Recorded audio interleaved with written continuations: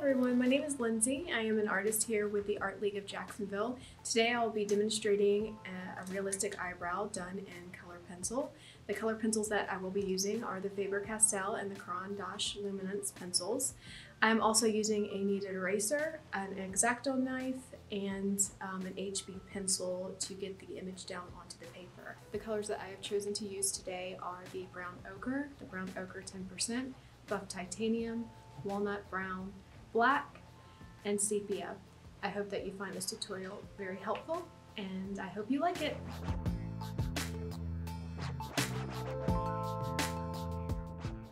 Okay guys, after placing the image onto the paper, I take a kneaded eraser and pick up any of the extra graphite. This allows a lighter image. You want to make sure that you lighten it just enough so the image is still showing through so that you have a good line for your color pencil drawing. After there's only a light image left, I take raw umber 10% and go over the entire image. I do this a couple of times, changing the direction of my pencil so that the color goes into the tooth of the surface. Remember, these are light layers. Uh, we are not burnishing yet. If you do press too hard, it will not allow extra colors to be added onto the image.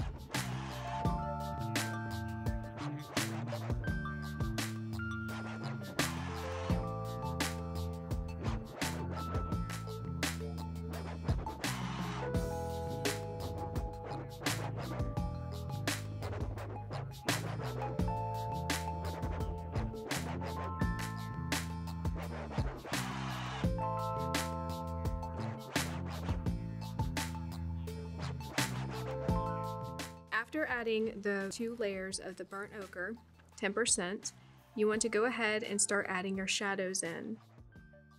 I used brown ochre along the underside of the eyebrow and also above the eyebrow and in the corner of the eye where the eye would be. I do a couple layers of this very lightly. Then I take sepia and go over those shaded areas as well, remembering to keep a light hand.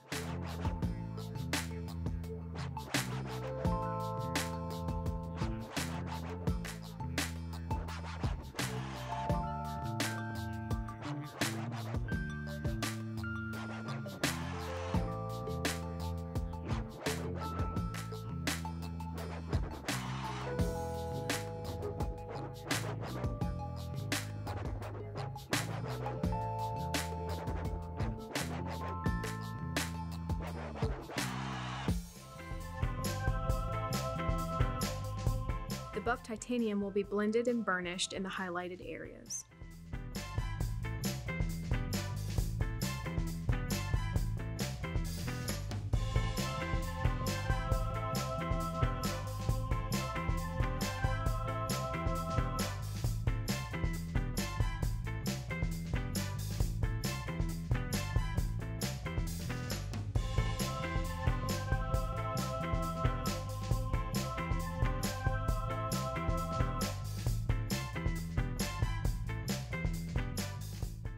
Once this is done, you want to take brown ochre, 10%, and blend all of the colors together. You want to burnish them, so you want to make a smooth surface for everything.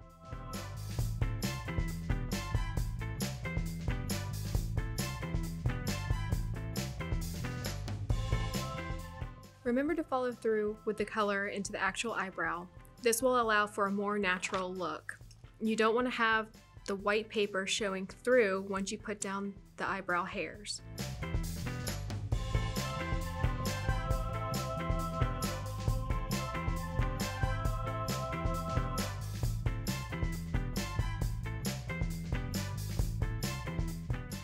Once all the skin tones are blended, take your walnut brown or any brown that you have and start adding the eyebrow hairs to the eyebrow. They need to be placed in an organic manner. The starting and stopping points of the hair should not be uniformed. Toward the beginning of the eyebrow, you want to stay lighter.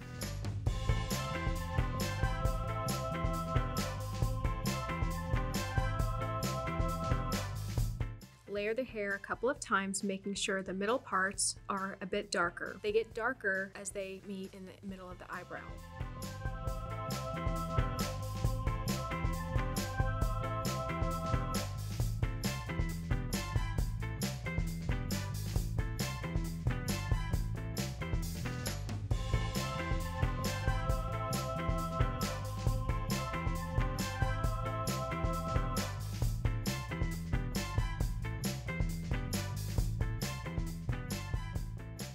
To add depth to the already drawn hairs, take your sepia and place where you would like definition.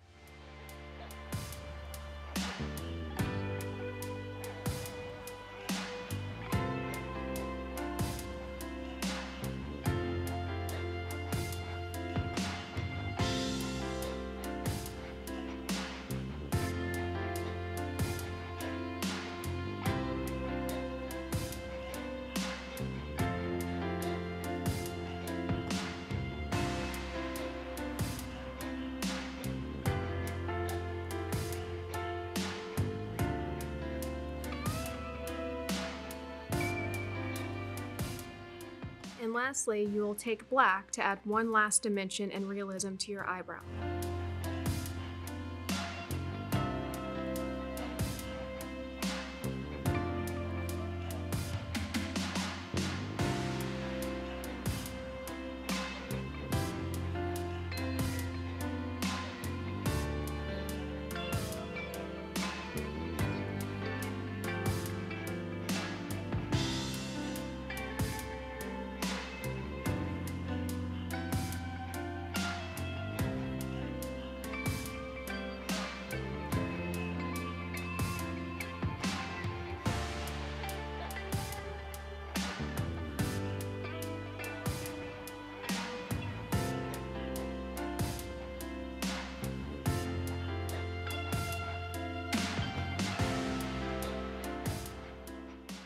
Guys, I hope that you enjoyed this tutorial as much as I did making it.